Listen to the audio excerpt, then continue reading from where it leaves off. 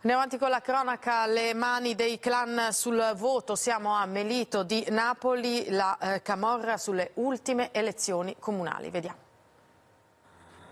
Un sindaco in carcere, con lui altre 15 persone tra consiglieri comunali, dirigenti ed esponenti della criminalità. La bufera giudiziaria si abbatte sul comune di Melito a nord di Napoli e sulla coalizione di centrodestra che l'amministra.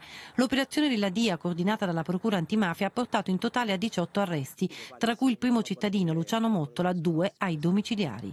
Gli inquirenti hanno portato alla luce un sistema di corruzione trasversale basato sul voto di scambio politica camorra. Secondo quanto emerge dalle indagini, le infiltrazioni della criminalità criminalità organizzata nell'amministrazione del comune di Melito iniziano con un accordo che sarebbe stato siglato nel primo turno delle elezioni il 3-4 ottobre 2021 con il clan Amato Pagano e alcuni rappresentanti di un'altra coalizione poi perdente. Questo accordo avrebbe garantito la promessa di fornire alla coalizione voti di esponenti del clan, affiliati e anche gente del rione. In cambio del voto sarebbero state offerte somme di denaro e posti di lavoro.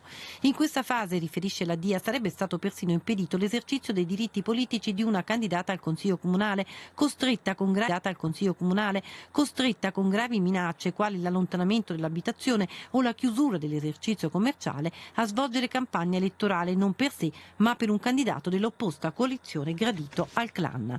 Al ballottaggio sostenitori rappresentanti della coalizione guidata dal sindaco Mottola si sarebbero rivolti ad un boss ucciso tre mesi fa in un agguato di Camorra per ottenere i voti in cambio di utilità. Luciano Mottola era stato stato eletto nelle amministrative del 2021 come candidato di un'ampia coalizione formata da liste civiche da una parte del centro-destra.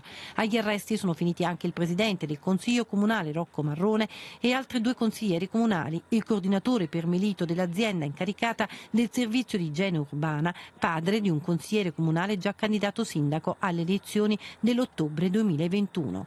Dovranno rispondere dei reati di scambio elettorale politico-mafioso, attentati ai diritti politici del cittadino cittadino, associazione di tipo mafioso, corruzione, concorso esterno in associazione mafiosa, tentata estorsione.